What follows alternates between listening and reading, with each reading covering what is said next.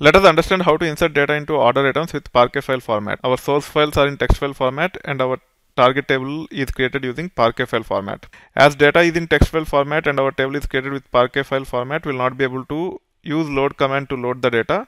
However, when you run this load command, it will be successful but when we try to query it will fail as the query expects data to be in Parquet file format. You can validate by running this and it will fail saying that uh, file in that location pointed by our Spark Metastore table is not a Parquet file.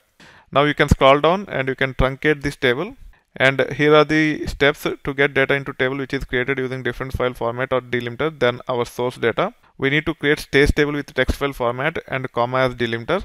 We'll be naming it as order items underscore stage then we have to load data from our files in local file system to stage table. Then using stage table, we can run insert command to insert data into our target table. Let us see an example so that you understand this process in action.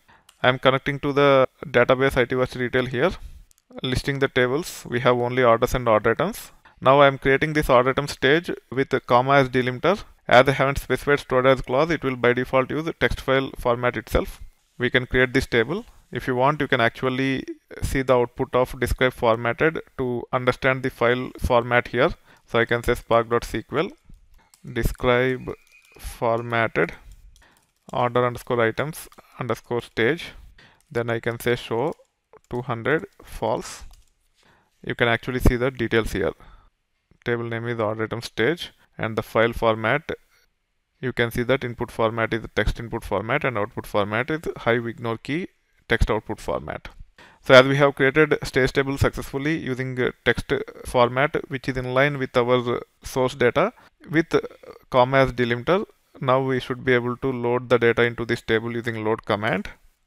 We can uh, validate by saying uh, select star from order underscore items underscore stage limit 10 you can see the results here. However we have already copied text files into our order items table which is created using Parquet file format. To keep it clean let us truncate the table first.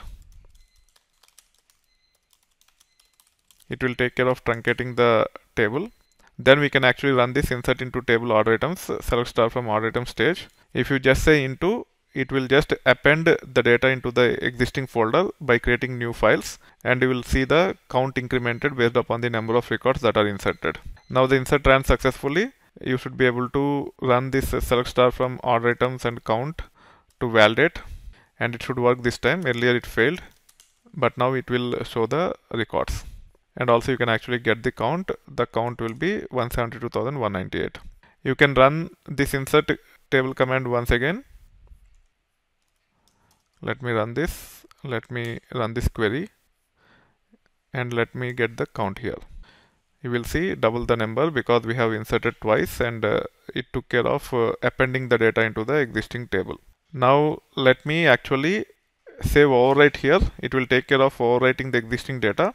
If you run order items uh, select on order items you will see the 10 records here However, if you want to get the count, you can run this query and uh, you can see only 172,198. When we say insert overwrite, it will just overwrite the existing files in the target uh, location pointed by our Spark Metastore table. You can validate by running this command and now you should be able to see the file names with the Parquet extension including Snappy because by default Parquet files will be Snappy compressed. This is how you should be able to use insert effectively to transform the files which are in uh, text file format into Parquet file format. However, we need to have a stage table in between. That stage table should be in line with our source files. We have to use load command to get the files into that uh, stage table and from the stage table we can use insert and insert into the target table which is uh, created using any other file format than this source file or even if the delimiters are different even though the source file format and the file format used while creating the target table are same.